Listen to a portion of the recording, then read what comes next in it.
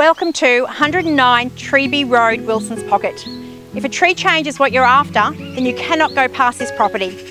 This large five bedroom, two bathroom home is nestled amongst the 30 year old established gardens, just 20 minutes from Gympie on the much sought after eastern side of town. The home offers split level design with brick, featured walls, slate and timber floors throughout and raked timber ceilings.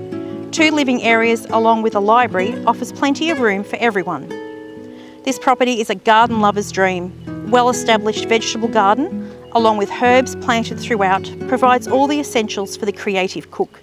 Giant bamboo and natives provide the fauna with shelter and homes and secret pathways for children to explore.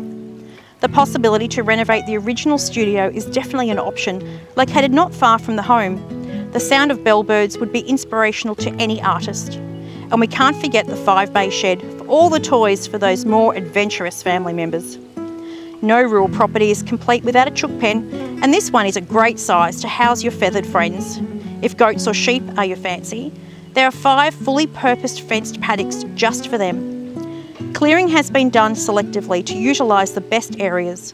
Options for small crops or livestock in these areas are a real possibility.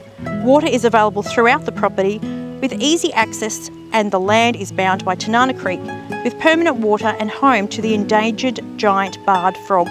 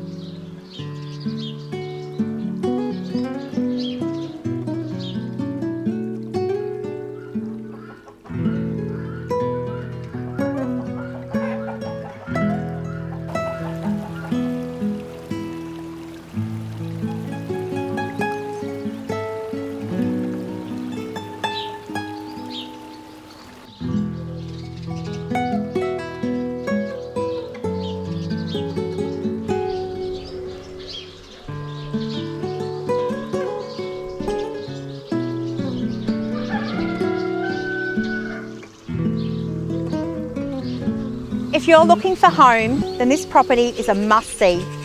Check out our website for open homes and I look forward to talking to you soon.